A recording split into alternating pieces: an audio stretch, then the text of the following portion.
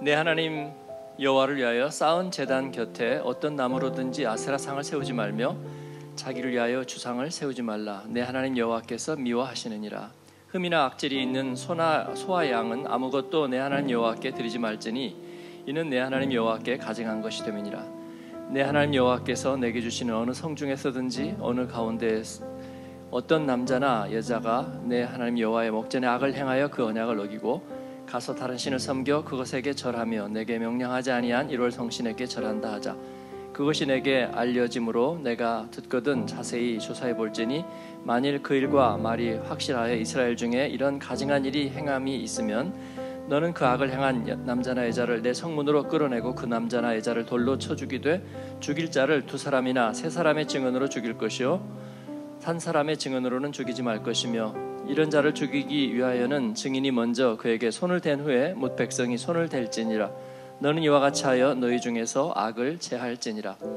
내 성중에서 서로 피를 흘렸거나 다투었거나 구타하였거나 서로 간에 고소하여 내가 판결하기 어려운 일이 생기거든 너는 일어나 내 하나님 여호와께서 택하실 곳으로 올라가서 레위 사람 제사장과 당시 재판장에게 나아가서 물으라. 그리하면 그들이 어떻게 판결할지를 내게 가르치리니 여호와께서 택하신 곳에서 그들이 내게 보이는 판결의 뜻대로 내가 행하되 그들이 내게 가르치는 대로 감사 삼가 행할 것이니 곧 그들이 내게 가르치는 율법의 뜻대로 그들이 내게 말하는 판결대로 행할 것이요. 그들이 내게 보이는 판결을 어기어 좌로나 우로나 치우치지 말 것이니라. 사람이 만일 무법하게 행하고 내 하나님 여호와 앞에 서서 섬기는 제사장이나 재판장에게 듣지 아니하거든 그 사람을 죽여 이스라엘 중에서 악을 제하여 버리라 그리하면 온 백성이 듣고 두려워하여 다시는 무법하게 행하지 아니하리라. 아멘. 오늘 어, 암송한 말씀은 너는 마땅히 공의만을 따르라. 그리하면 내가 살겠고 이스라엘 백성에게 주시는 말씀은 아니죠. 우리가 다 공의만 따르면 어떻게 될까요? 상당히 힘들어지겠죠. 하나님의 사랑과 공의에서 너는 공의만을 따르라.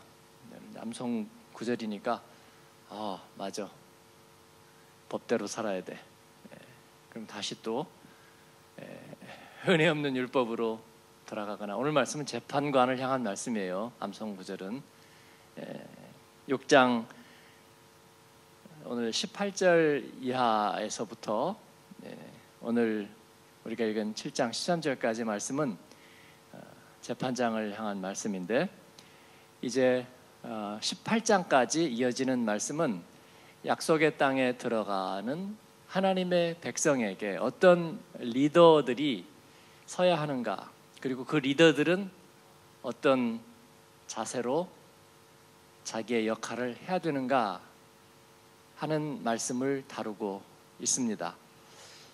그렇지 않고 어, 재판장에다 막 자기 말씀을 적용해 버리면 또 힘들어져요, 여러분. 그 다음에는 이제 왕도 나오는데 예, 또 왕을 자기에게다 막 적용시키면 예, 그것도 좀 곤란합니다.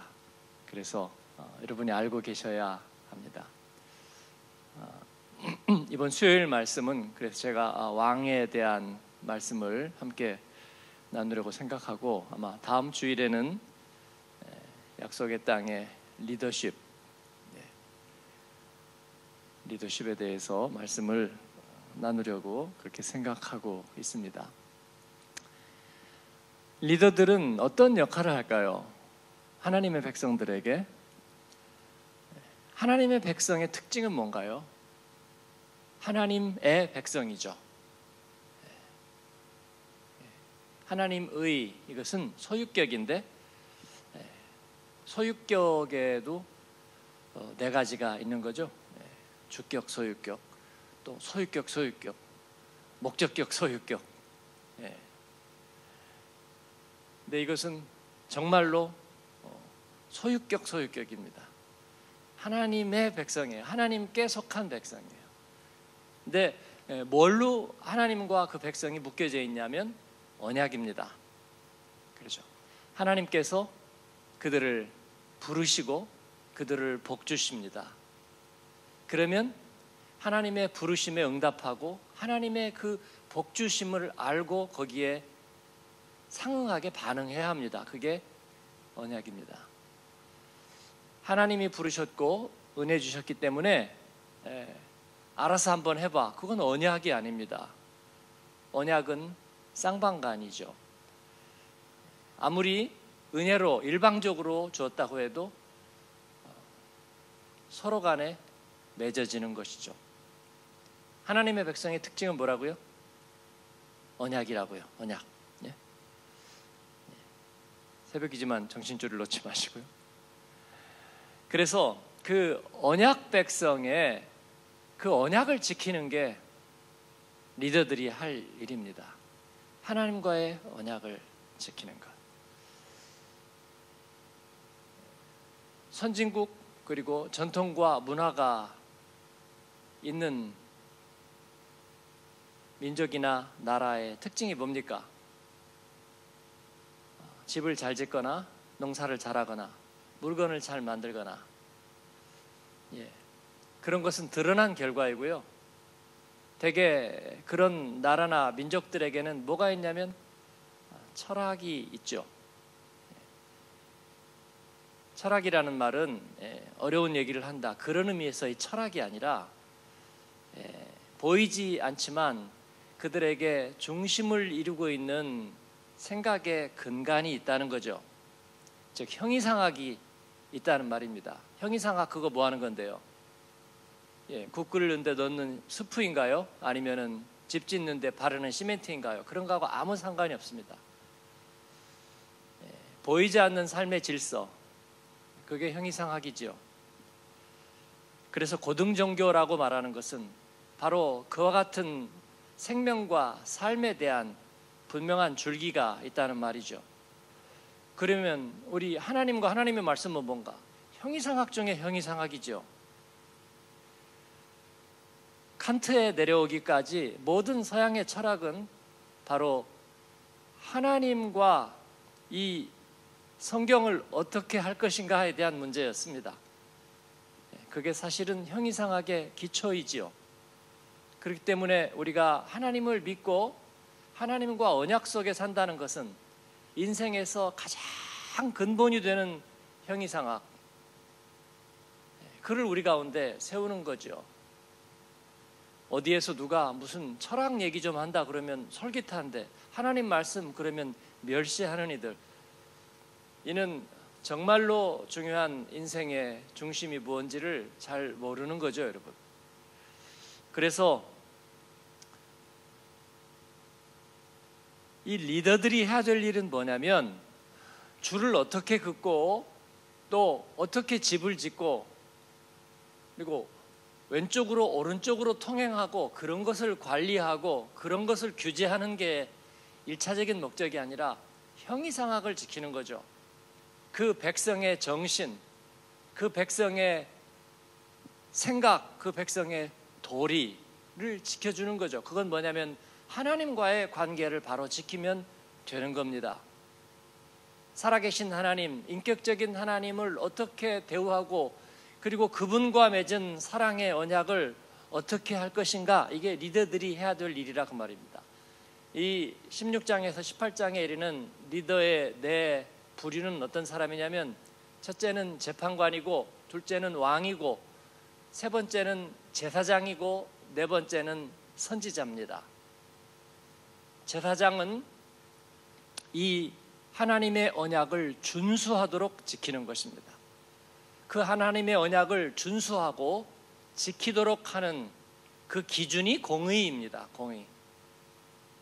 하나님의 성품에 합당하게 그 하나님의 언약을 지켜내는 것. 그런데 지키지 못하게 하는 건 뭐예요? 하나님과의 관계를 끊어내는 죄입니다. 그래서 죄는 제거해야 합니다. 그게 재판관이 하는 일이에요. 그래서 여기에서 사형 사형 판결이 등장하고 있습니다. 너희들의 성에서 악을 제해버리라. 예, 그건 마치 부패한 음식 과 같은 거예요. 우리 몸의 종양과 같은 것입니다.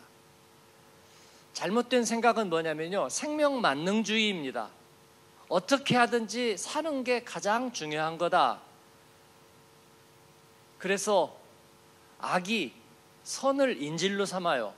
어차피 다 살아야 되는 거 아니야? 하나님은 어차피 다 살게 하는 거 아니냐고 천만에요. 그렇지 않습니다. 하나님이 생명을 사랑하신다는 것은 생명 만능주의라는 뜻이 아닙니다.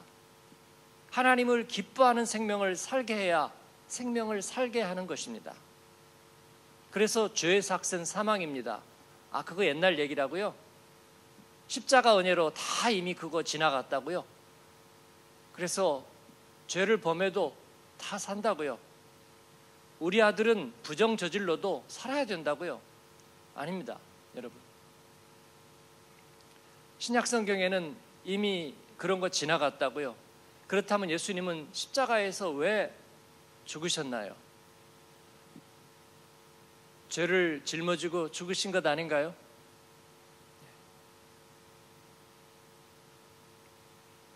구약 성경은 사형 제도를 얘기하고 있고 그런 점에서 저는 휴머니즘에 있을 때는 당연히 사형 제도 반대였습니다. 그 끔찍하고 인간과 아무리 죄를 지었어도 그 가족에게 잊지 못할 상처와 트라우마를 주는 사형 제도는 반대다. 천부 인권론인데 인간은 모든 것 중에 가장 존귀한데 사형 제도는 비인간적이고 어, 반인륜적이다. 그래서 반대한다. 예, 복음 안에서 저는 사형 제도를 찬성하게 됐어요. 그건 저의 개인적인 소견이 아니라 성경적인 것입니다. 생명을 구원하기 위해서 생명을 떨어뜨리는 것. 그리고 생명을 생명답지 못하게 하는 모든 죄에 대해서 생명은 차단시켜야 됩니다. 그렇기 때문에 우리가 그 죄에 오염되지 않게 하나님 앞에 깨어 있어야 될 겁니다. 그렇지 않고 물에다 물을 타도 물에다 술을 타도 이래도 흥 저래도 흥 그런 것은 은혜도 아니고 아무것도 아닙니다. 그래서 재판관에게는 그런 권한이 주어지는 거예요. 너희들의 성중에 너희들의 공동체 무리에서 악을 제하라. 은혜에 대해서 잘못 생각하는 사람은 바울서 신 고린도서에서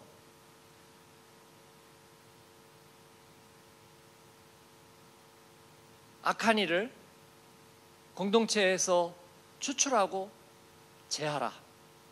이 말씀에 시험을 받습니다. 신약 성경에는 안 그런 줄 알았는데 예, 복음 전하러 다니는 그들은 안 그런 줄 알았는데 예, 언젠가는 돌아오겠지. 언젠가는 잘 되겠지. 그러나 그렇지 않습니다, 여러분. 집안이 언젠가는 깨끗해지겠지 하고 한없이 어지럽히는 사람 보셨어요? 네, 우리는 은혜로 살아. 그렇게 결벽증 공의로 살지 않아. 아니죠. 예. 곰팡이가 피어서 아이들 건강을 해칠 겁니다. 그건 은혜가 아닙니다, 여러분. 하나님의 공의가 제대로 세워지지 못하는 곳에 은혜는 설 자리가 없습니다. 오해하면 안 되겠습니다. 하나님의 성전을 온전하게 하나님께 드리는 예배가 정결하고 깨끗하고 온전하게 되지 못하고 성도들의 자세도 다 깨져 있는데 은혜라고 말하는 것은 틀렸습니다. 하나님은 그곳에 살아계시지 않습니다. 얼마나 하나님께서 광야에서도 그들에게 정결함을 요구하셨는지 그것은 너무나 분명한 거예요, 여러분. 우리 목사님이 요즘 율법주의로 돌아간 것 같아. 율법주의 아닙니다, 여러분. 복음의 한 면은 뭐냐면 죄를 결코 참으실 수 없고 용서하실 수 없는 하나님의 공의의 성품입니다. 복음의 다른 양면은 그러나 그 공의로는 우리를 구원할 수 없기 때문에 그 공의를 하나님 자신에게 적용시키고 우리에게 사면의 기회를 주는 것이 복음 good news입니다. 그래서 눈물로는 갚을 수 없는 거예요, 여러분. 자식이 소중하면 공의를 가르쳐야 합니다. 하나님의 성품을 가르치고 죄의 두려움에 대해서 공포를 주는 것이 아니라 죄의 두려움에 대해서 깨달아야 합니다. 그래야 악으로 제하여지지 않을 거예요, 여러분. 재판관은 너는 마땅히 공의만을 따르라. 그 얘기예요. 예. 재판관은 공의를 따르는데 그 이유는 뭐냐면 아까 처음에 얘기했죠. 하나님의 언약을 지키는 것입니다. 하나님의 언약이 깨지면 자기들끼리 아무리 서로 좋아도 우리끼리 사랑이 너무 넘치는 것 같아요. 우리는 너무나 서로를 용서하는 것 같아요. 그런데 하나님의 공의가 깨지면 그들은 아무것도 아닙니다. 아말렉 족속이고 그리고 광야에서 음란을 행했던 모압 사람들이고 그리고 블레셋 사람들이죠. 아무것도 아닙니다. 그래서 하나님의 언약을 지켜내야 하는 거죠. 예. 왕 그리고 제사장 그리고 선지자도 그 언약과 관련된 일을 해내는 것입니다. 언약의 모범을 세우는 하나님과의 관계 그 언약의 모범을 세우는 것이 제사장이죠.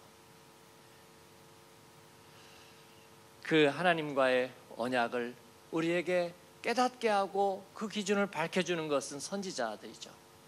왕은 그 언약의 기준을 행하도록 통치하고 지켜가는 거죠. 이게 하나님의 백성 이스라엘의 리더십들이 해야 될 일이었습니다. 네. 여러분, 회사의 리더가 주어진 기능직은 엄청 잘하는데 인격과 태도나 사람들과의 관계는 엉망이다. 네. 그거 후진국에서 못 살 때 얘기입니다, 여러분. 그죠? 예. 건축 감독관은 시멘트만 잘 바르면 돼. 예. 자재만 관리 잘하면 돼. 그런데 엉망진창이야. 일과 끝나면 그런 인간이 따로 없어. 여러분, 근본 없는 백성입니다. 그렇지 않은 거예요. 리더라면 그 사람이 종교적인 리더가 아니더라도 일정한 틀과 기준을 갖고 있어야 되는 겁니다. 하나님의 백성은 그러합니다. 우리들의 자녀들에게는 리더십을 가르쳐야 합니다. 어릴 때는 울기만 해도 배가 고픈 거야. 잠이 잠이 오는 거야. 잠투정을 하고 엄마한테 때를 쓰고 멋대로 굴어도 어 얘가 지금 뭐가 그래서 그런 거야. 그래서 도리와 그리고 리더의 도를 가르치지 않으면요. 언제나 피해자만 되는 거예요. 하나님 앞에 그리고 사람 앞에 그리고 주님의 교회 앞에서 그가 단정히 행하고 리더의 질서를 가르쳐야 합니다. 투정 부리니까 컴퓨터 키고 스마트폰 켜서 무조건 코앞에다 갖다 밀어내고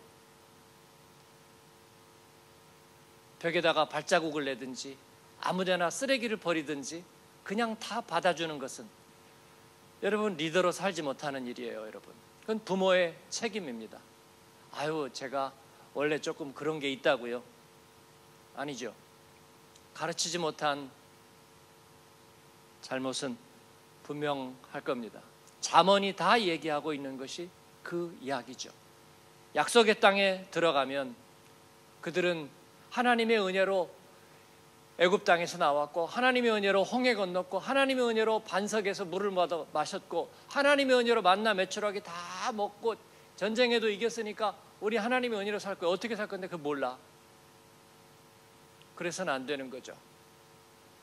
우리 하나님 앞에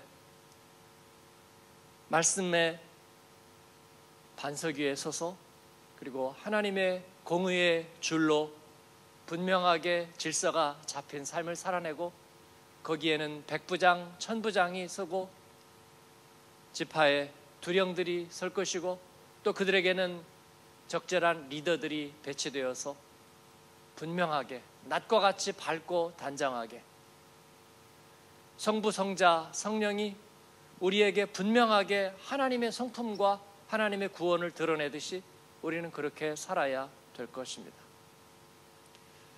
제가 젊은 시절에 시골에서 단독 목회를 할때 어, 항상 옛날에 시골에는 정신질환 있는 분들이 많이 있었어요.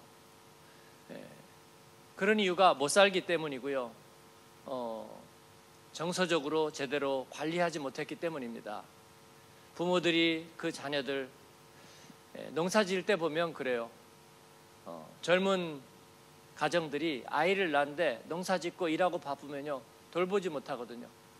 그러니까 어, 낡은 유모차 하나 이렇게 해가지고 애 넣고 그냥 햇빛만 가려서 하루 종일 놔둬요. 네. 손길이 부족하기 때문에 그렇습니다. 딱한 것은 이해가 됩니다. 그리고 자라면서 사춘기를 지나고 하는데 요즘 사춘기만 애들이 센스티브하고 예민한 건 아니죠. 인간의 문제는 달라지지 않았습니다. 그래서 예전에도 마찬가지인데 그때 손을 못 하는 거예요. 부모의 사랑과 정성과 배려가 잘 들어가지 못하고 또 가난한 살림에 그러면서 이런저런 일을 당하고 상처를 입고 그러면서 정신질환이 발생하게 돼요. 근데 그걸 시골에서는 성경의 얘기처럼 귀신 들렸다.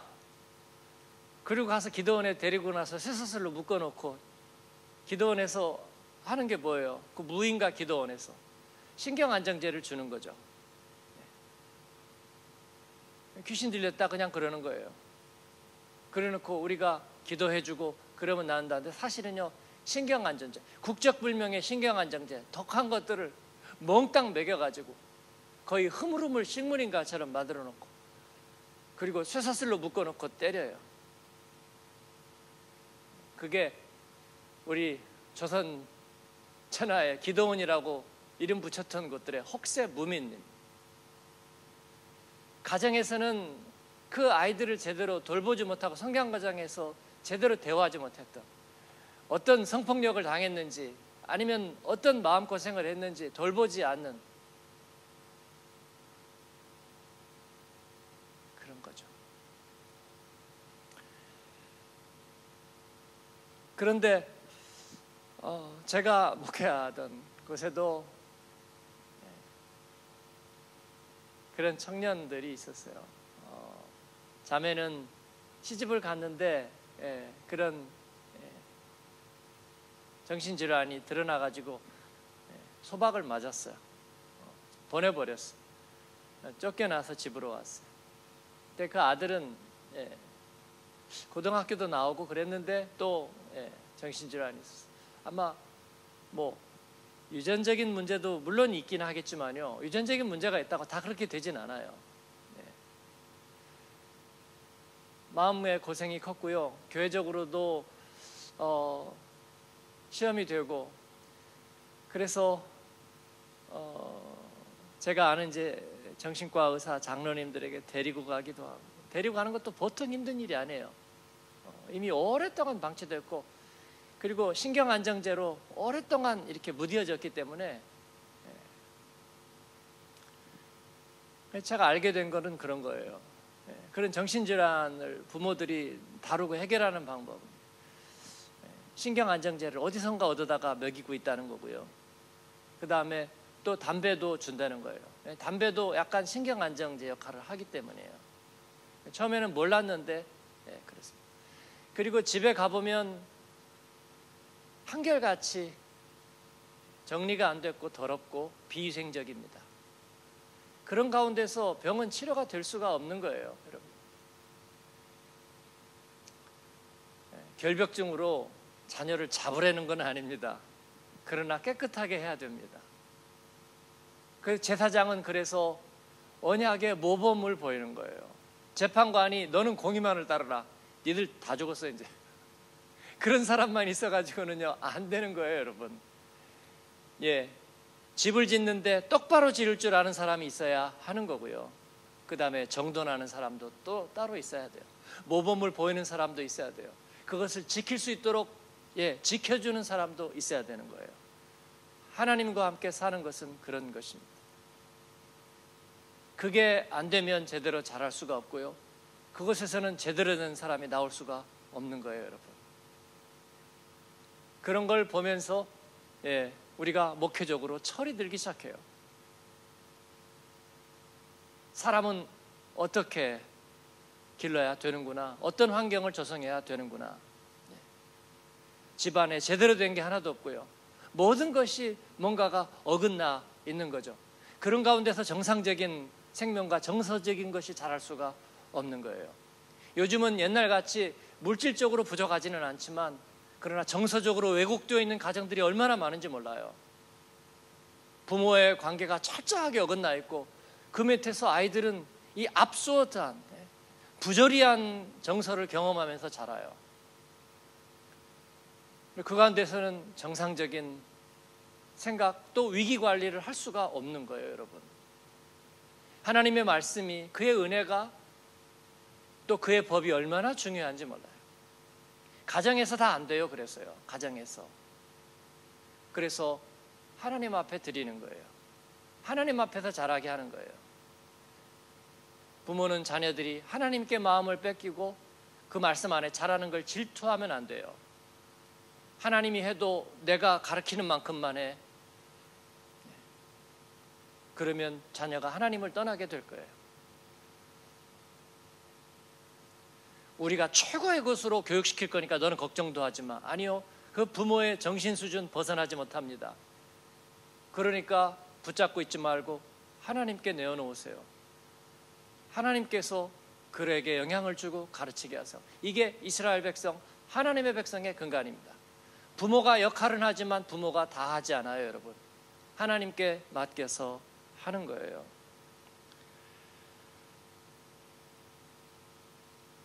물론 우리가 그렇게 해도 아픔은 오고 어려움도 오고 자녀들에게 어려움도 있습니다. 문제 생기면 다 부모 잘못이다. 제가 그렇게 얘기하려는 건 아닙니다. 그러나 현실이죠. 왜냐하면 우리도 다 장애가 있으니까. 저도 그렇게 생각해요. 가끔 친한 교인들이 아, 목사님 삐지셨나요? 네. 내가 왜 삐져요? 뭐 교자한테 그렇게 말해도 돼요. 그렇게 말 안 하는 게 좋아요, 여러분. 근데 삐지는 거 있는 건 사실이에요. 네, 삐진다는 건 뭐냐면요. 인격 장애가 있다는 거예요. 여러분도 있어요. 네, 인격 장애가 있어요. 한국인이 가진 인격 장애가 있어요. 해결 못한 상처가 있고요. 근데 우리 잘하는 아이들에게는 어떻게 했느냐고요. 더군다나 이중 문화를 겪는다면 어떻게 했느냐고요. 예.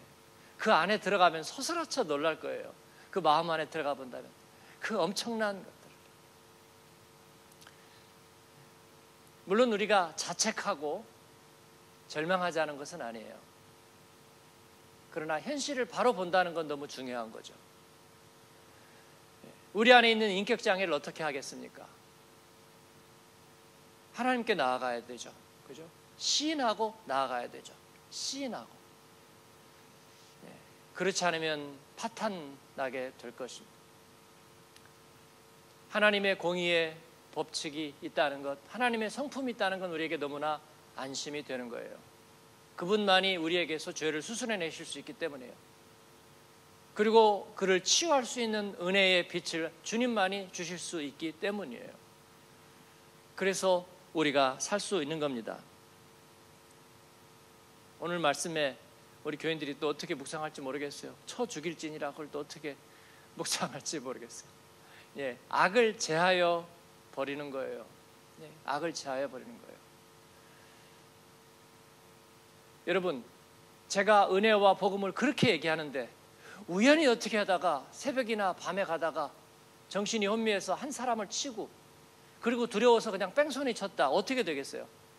그리고 성전에 와서 열심히 기도해요. 하나님 제가 지금까지 어떻게 살았는지 아시죠? 아니죠, 여러분. 제가 만 명을 전도하고 선교지 가서 살다 왔어도 사람 치고 뺑소니 했다. 그건 파렴치한 거고요, 여러분. 범죄 행위고요.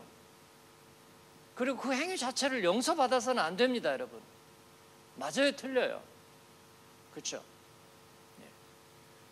근데 알고 보니까 신고를 받고 온 경찰관이 우리 교인하고 아는 사람이야. 아이고, 당신에 대해서 많이 들었고 내가 통쳐 줄 테니까 가세요. 그러면 안 된다는 거죠. 그 사람에게 하신 말씀이에요. 너는 마땅히 공의만을 따르라. 네가 다른 생각할 거 없어. 그래야 네가 살 것이다. 얘기하는 거예요, 여러분. 은혜는 그 다음에 어떻게 할까의 문제예요. 오케이, 잘못했습니다. 와, 세상에 말씀 전하고 이런 사람도 도망가네요. 어떻게 할 수 없어요. 가인 파동. 거기에 대해서는 죄값을 치러야 되는 거예요, 여러분. 그죠? 어떻게 죄값을 치를 것이냐. 고든 맥도날드 목사님이 보스턴에서 Grace Church 목회 잘 하다가 여비서하고 불륜이 생겼어요, 여러분. 어떻게 할 거냐고요. 교회에서 쉬쉬하고 덮어요. 어디 어디 사람들처럼? 아니요. 그 교회가 교인 전부에게 편지를 보냈어요. 그게 무슨 자랑이라고. 우리 목사님이 범죄를 했습니다. 그러나 하나님이 그를 부르셨고 사랑하고 그가 그 소명감에 의해서 했다는 것을 우리는 의심하지 않기 때문에 그가 죄를 지었지만 우리는 그에게 돌아올 수 있는 기회를 주도록 벌을 주기로 했습니다. 그런 거예요. 어, 교회 장로님들과 위원회가 해서 예, 슬럼가에 가서 3년간 봉사하도록 명령을 내렸어요. 그리고 우리가 관찰한 다음에 용서할 거라고. 그 대신에 반드시 사모님하고 같이 가야 된다. 사모님 무슨 죄가 있어? 그래도 파트너이기 때문에 그래서 그 목사님과 사모님을 슬럼가로 보내서 3년 동안 봉사를 시켰어요. 그들이 공개하고 예, 공개했습니다. 뼈 아프게 회개하고 또 봉사하고요. 그 다음에 그 Grace Church가 그 목사님을 다시 재청빙했어요. 예. 그 놀라운 일이죠. 놀라운 일이에요. 아, 그게 아마 모르겠어요. 성적인 기질일 수도 있고 또 그럴 수도 있잖아요. 그런데 그 교회가 아, 다시 재청빙했어요. 다시 재청빙된 Grace Church에 가서 고든 맥도날드 목사님의 설교를 들었던 분들이 예, 그렇게 얘기를 해요. 보스턴에 유학 갔다가 그 교회에서 어, 그때 말씀을 들었던 이들이 그렇게 은혜로울 수가 없었다. 정말 진정한 복음과 그리고 그 죄에 대한 말씀들이 예, 그에게서 들을 수 있었다 그런 거예요. 그렇습니다. 우리는 원래 죄인이었다는 걸 잊지 마세요. 그리고 그 죄는 사라지지 않았습니다. 자아가 내 안에 있는 한 죄는 사라지지 않습니다. 그래서 하나님께서 늘 은혜로 나를 만지시지 않으면 우리는 그걸 이겨낼 수가 없는 거예요. 여러분. 우리는 다 인격 장애가 있습니다. 그것도 잊으시면 안 되겠어요. 그래서 은혜 받았더라도 말을 너무 많이 하지 마세요. 말씀에 대한 나눔하고 거기에서 1절만 해야지 2절 들어가면 장애가 나옵니다. 그래서 교만과 또 나의 억눌린 마음이 나와요. 제 아내는 오늘 교역자들하고 회의가 있어 그러면 항상 한마디 덧붙입니다. 말 많이 하지 마세요. 네. 그래도 어김없이 많이 하게 되죠. 장애입니다, 여러분. 회사의 리더들은 말을 많이 하게 되죠. 장애예요. 네. 걱정하고 헌신하기 때문에 마땅히 그러는 것은 아니고 부모는 자녀에게 말을 많이 하게 되죠. 장애입니다. 적게 해야 돼요. 듣기는 속히 하고 말하기는 더디하라. 그래서 하고 싶은 말 많죠. 기도로 하나님 앞에 올려드리는 거예요. 기도할 때는 실수하지 않아요. 왜냐하면 하나님 앞에 하는 거기 때문에. 오늘 재판관 얘기로 시작해서 여러 가지 많은 얘기를 했는데 그러나 우리는 그리스도 안에 있고 하나님 앞에 있습니다. 지나간 일에 대해서 자책하지 말되 그러나 하나님 앞에서 죄가 무엇인가는 분명하게 알아야 하고 그리고 하나님만이 우리에게 은혜 베푸실 수 있다는 것도 분명히 알아야 되겠습니다.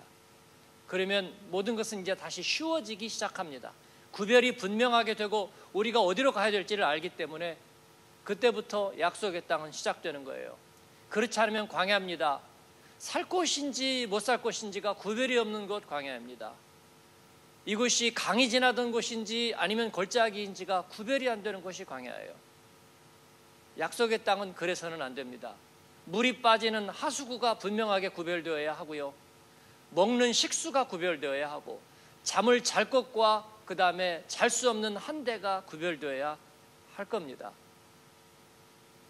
주님께서 하나님의 말씀으로 우리의 삶을 그렇게 다시 구획짓고 새롭게 하실 것이고 이 혼돈스러운 남자인지 여자인지 누가 누구하고 결혼하는지 알 수도 없이 되어가는 이 세상은 다시 광야가 되어가는 거예요. 하나님의 사랑의 공의 안에서 우리가 그 질서를 다시 세우고 하나님의 말씀의 법을 세우는 약속의 백성, 언약의 백성 될 수 있기를 바랍니다. 그런 가정과 일터와 또 우리들의 공동체가 되기를 축복합니다. 아멘.